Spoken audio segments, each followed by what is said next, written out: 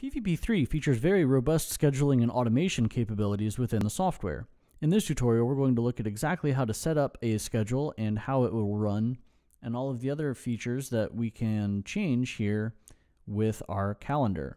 So to access the calendar, you can come up here to the View menu and select Calendar, or you can use the keyboard shortcut Option C. Once the window is open, you're going to see that there's a couple different options for buttons that we can press here. Up here at the top is the calendar enabled option. So with this enabled, any events that you have here on the left hand side will trigger at the proper date and time that you've selected. If you uncheck that box, then none of these events will actually be triggered when that time comes. So we'll leave that checked for now. And here on the right hand side are two other buttons that we have. One of them is to hide recurring events, and then the other one is to go to the current event. On the far left hand side here is a plus button to add an actual event. So we'll go ahead and create a new event and you'll see here that it pops up in our list here on the left. And on the right hand side, we can change all of the settings for the event, including naming it, giving it a description, setting the schedule for when this event is going to occur, and changing the action that we want this event to trigger. So we're going to go ahead and start out by naming it, and we'll just name it something simple like Monday Slides. You can also add a description to it if you would like. The description doesn't actually change anything, but it would be something visible here on the event in case you need to make some notes about it. And you'll see as I changed the name here on the right hand side that it updated our event on the left as well. Up next, we want to select the action that we want this event to do. So you can choose down here from nothing if you want the action to do nothing, or you can clear all, so you can clear all of the layers that you have in your project, or you can clear individual layers. I only have one layer in my project, so you're only seeing layer one here, but if you had multiple layers, they would show up underneath clear all in order. And then just below that, you can also trigger a specific playlist.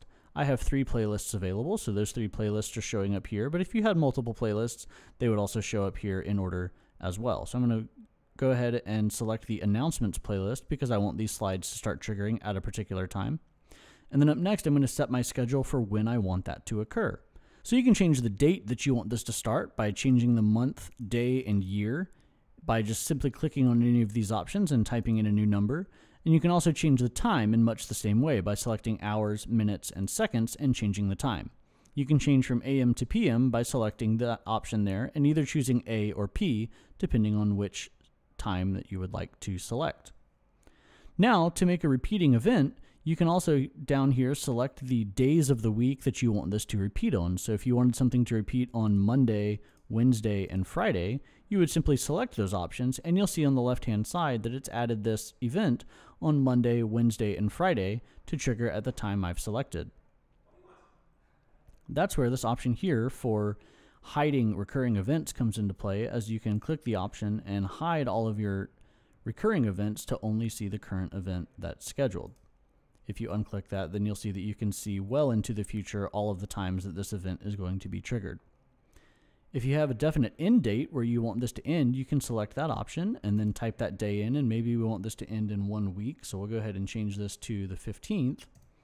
And when I do that, you'll see that this is updated to show the four times that it's going to play on Monday, Wednesday, Friday, and then the following Monday as well. So that's about it for the calendar here in PVP3. For more information on PVP3 and all of the other great features we offer, feel free to visit our other tutorials and look at the website knowledge base at www.renewedvision.com.